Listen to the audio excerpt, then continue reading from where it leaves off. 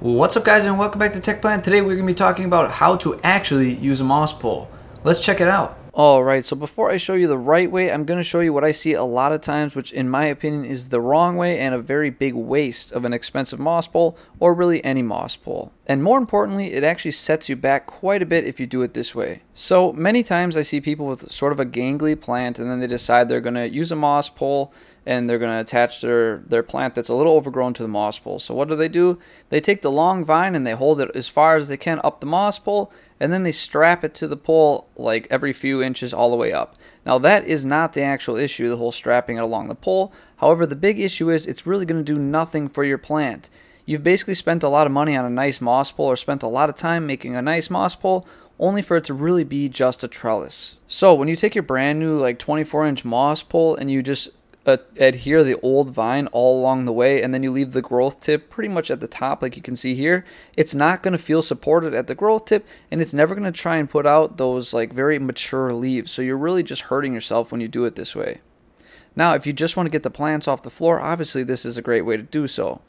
But if you're going for that more mature leaf you're not going to get what you want. So here's my recommendation. If you've got a long plant, usually a lot of these more stringy ones I see, they're quite a bit flexible. And even if they're not, I would even suggest laying your um, original pot down and taking that growth tip and trying to adhere it to a new pot with a moss pole right at the very base of it. And when you actually attach it to the pole, you're going to look for where those main roots come out and you're really going to try and get that mushed up against the pole really nice and tight so that way it can start rooting in there and start its journey adhering to the pole. Once that starts doing it, that growth point is going to get that sensation. I, don't really know how else to describe it, but it, it, understands that it's very secure. It feels itself rooting in, and then it's going to start making bigger, larger leaves and thicker um, vines, and it's going to really get big quick. And the best part about this is you're going to end up having a lot of moss pole for it to grow out on. It's a real shame if you were to already strap the vine maybe like 12 inches or 15 inches high, you're kind of limiting the amount of time you have before you have to chop and prop the, the top cutting, if that makes any sense. Here's a real life example at this point.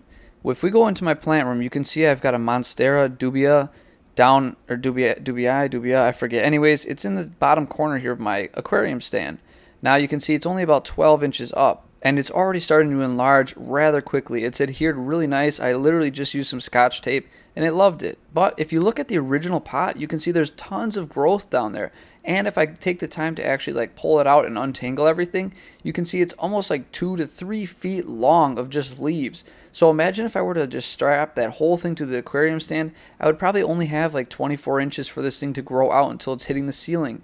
But the fact that I started at the way bottom, ignoring all that previous growth, means I'm going to get the whole like 72 inches, 78 inches of growth, giving the dubia a lot more time to get a lot bigger before I have to like traumatize it, cut it, and restart over. So that is what I'm trying to get at. I hope this real life example really like drives home what I'm getting at. Here's another instance as well with the giant pothos. So I tried repotting it a while back and it's actually not doing so good. You can see that the leaves are starting to get smaller now. It's starting to actually regress. Originally it was getting massive and that's when it was on the first moss pole really rooting in nicely. But you can see now that since it's loose and lost its grab, the growth tip doesn't feel secure and it doesn't matter that it's leaning up against this pole, it's already starting to revert. So I have to address this one quickly. Well guys, that pretty much sums up this video. I hope it makes sense. If your goal here is to just get your plants off the ground, then definitely go with something cheaper, almost like a trellis, because that'll work just the same.